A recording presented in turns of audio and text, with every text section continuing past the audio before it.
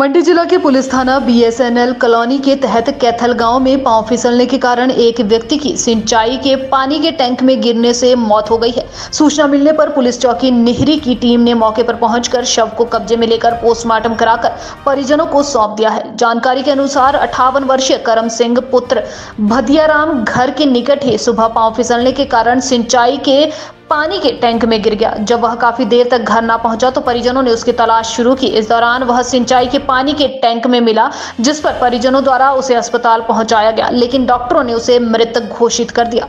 मामले की पुष्टि करते हुए डीएसपी दिनेश कुमार ने बताया कि बीएसएलएल थाना पुलिस ने इस मामले में अधीन धारा एक सौ चौहत्तर सीआरपीसी के तहत मामला दर्ज कर शव का पोस्टमार्टम करवा परिजनों के हवाले कर दिया है और जाँच की जा रही है। उज्जवल हिमाचल के लिए मंडी से उमेश भारद्वाज की रिपोर्ट। आज चौकी निरी में रोहांडा हॉस्पिटल से एक सूचना मिली थी कि एक व्यक्ति को इलाज के लिए हॉस्पिटल आए जो कि ब्रॉडेड है, जिस पर पता चला कि व्यक्ति जो है वो श्री करमचंद जी सन ऑफ़ भाजीराम तहसील निरी के रहने वाले हैं, और प्रत्येक दिन वो अपने घर से मॉर्निंग वॉक के लिए जाया करते थे तो आज भी वो प्रत्येक दिन की भांति मॉर्निंग वॉक के लिए गए थे और वहीं मॉर्निंग वॉक जहाँ जाते इस रास्ते में उन्हें उनके उन्हीं के अपने घर ज़मीन में वाटर हार्वेस्टिंग टैंक बनाया गया। उसमें कहीं पैर फिसलने के कारण शायद वो उसमें गिर गए होंगे, जिस कारण उनको वहाँ से जब निकाला गया और हॉस्पिटल लाया गया तो डॉक्टर ने ब्रॉडेड कर दिया है।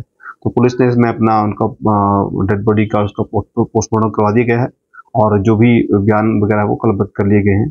तो अभी पुलिस, फ़िलहाल वन की कार्रवाई अमल में लाई जा रही है। बुडामल ज्वेलर्स पालमपुर, भरोसा उम्र भर का। This news is brought you by Rainbow International School Nagrota Bagwan